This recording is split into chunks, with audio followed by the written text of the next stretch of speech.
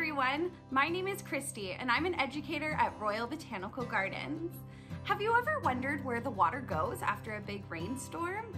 Well, one of our ecologists, Jenn Bowman, is, is over at our Arboretum and is gonna tell us a little bit more about this subject. So Jenn, where does all that water go after a big rainfall? When we have a storm event, only some of the water gets infiltrated into the ground and the rest runs off. And when we have a lot of hardened surfaces, that runoff will pick up contaminants and dirt and take that to the streams. And when we have a lot of runoff coming off of these hardened surfaces, just the volume of water can damage our creeks and that causes erosion as well.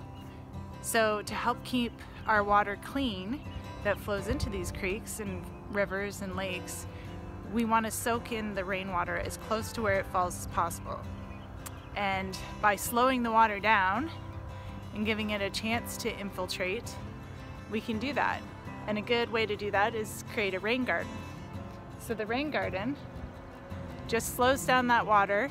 It's a depression garden, so the rainwater will flow in and then soak in the, into the ground within 12 to 48 hours. It's growing lots of plants.